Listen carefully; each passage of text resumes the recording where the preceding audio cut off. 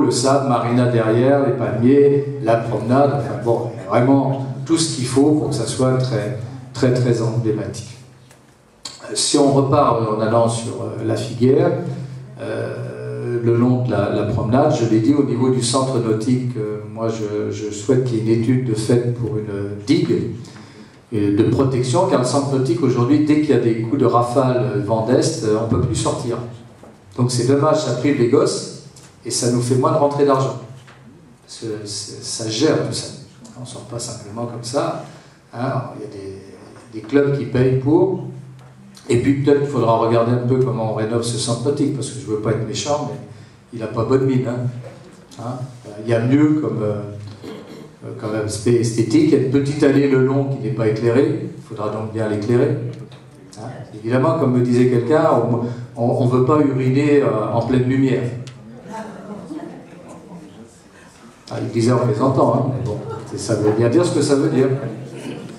Hein, j'ai dit uriner parce que je suis poli. donc, euh, c'est vrai que cette allée euh, mérite un éclairage. On peut faire un éclairage simple.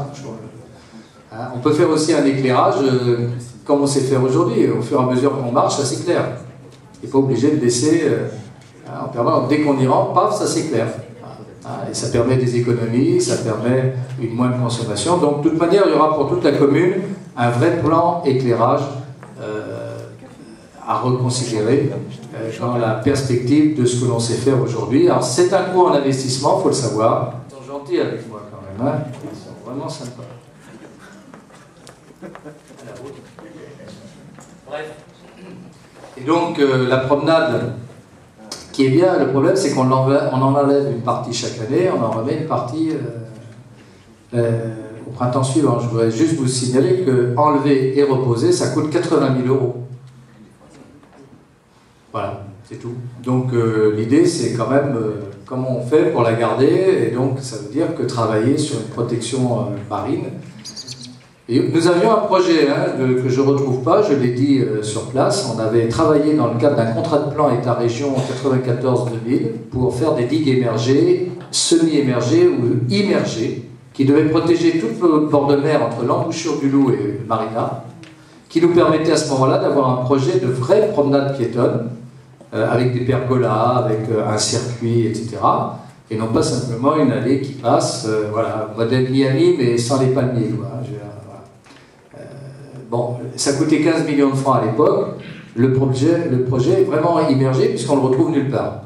Donc je lance un appel aux élus présents hein, pour leur dire si vous me le retrouvez, je serai content parce que je l'ai demandé au service d'urbanisme, je l'ai demandé au service euh, environnement qui disait l'avoir, je ne l'ai toujours pas vu.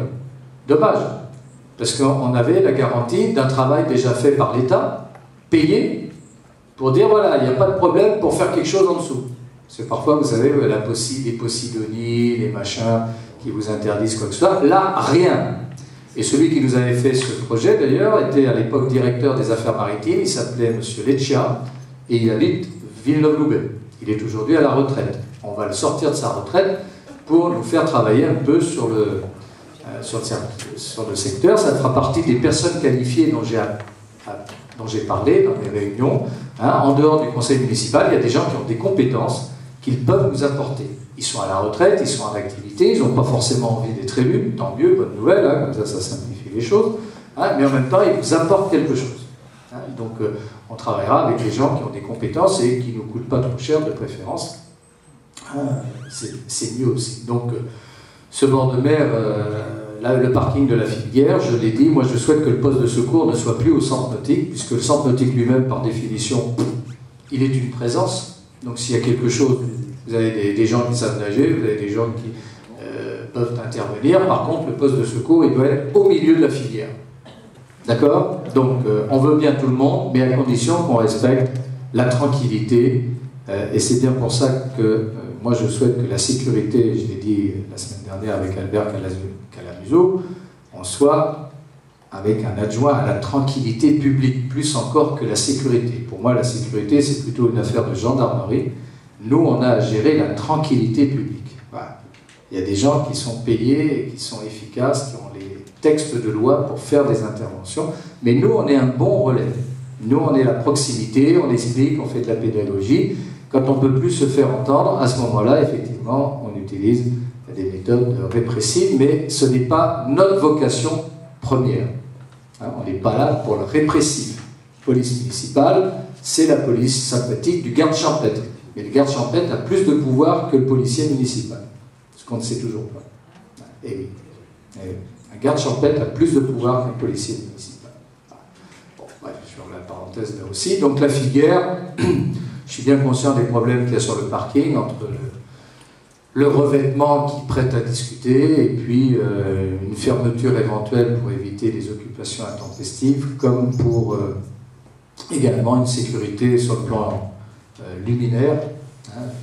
donc ça, ça, fera partie des, des, des choses à